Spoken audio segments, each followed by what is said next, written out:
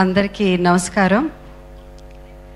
మళ్ళీ పెళ్ళి pre release event ఇది చాలా స్పెషల్ ఈవెంట్ బ్యూటిఫుల్ ఈవినింగ్ ఎందుకంటే ఫిఫ్టీ ఇయర్స్ కంప్లీట్ చేసుకోవడం ఇండస్ట్రీలో అన్నది చాలా కష్టమైన ఒక అంత ఈజీ కాదు.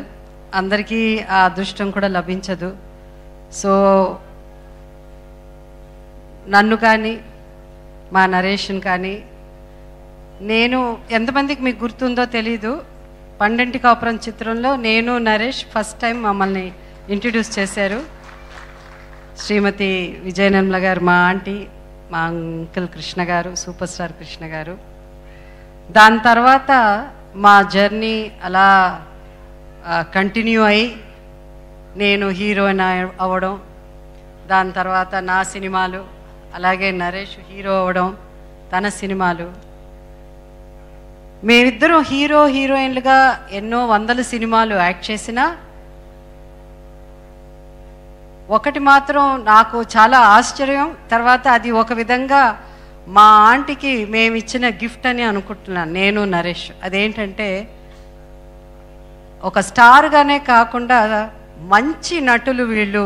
వీళ్ళు ఎలాంటి పాత్రలు ఇచ్చినా వీళ్ళిద్దరూ బాగా యాక్ట్ చేయగలరని మా ఇద్దరికి ఆ పేరు రావడం అన్నది చాలా కష్టం. మాకు అలాంటి క్యారెక్టర్స్ లభించడం కూడా మా అదృష్టం.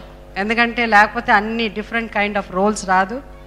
అలాగే నరేష్ ఎంత గొప్ప నటుడో ఎందుకంటే నేను చెప్పాల్సిన అవసరం మీ అందరికీ తెలుసు. ఏ క్యారెక్టర్ ఇచ్చినా తను హీరోగా చేసినప్పుడు కొన్ని డిఫరెంట్ రోల్స్ ప్లే చేశాడు. అలాగే క్యారెక్టర్ రోల్స్ చేసినప్పుడు కూడా తను బయట థియేటర్లో నుంచి సినిమా చూసి బయటకు వచ్చేటప్పుడు చాలామంది బాగుందండి సినిమా చాలా గొప్పగా ఉంది హిట్ బట్ నరేష్ గారు సూపర్గా చేశారు అని చెప్పే సినిమాలు కూడా చాలా ఉన్నాయి.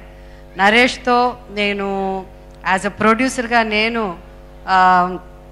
మా లేట్ హస్బెండ్ నితిన్ కపూర్ గారు మేమిద్దరం సినిమాలు తీసాం మేము.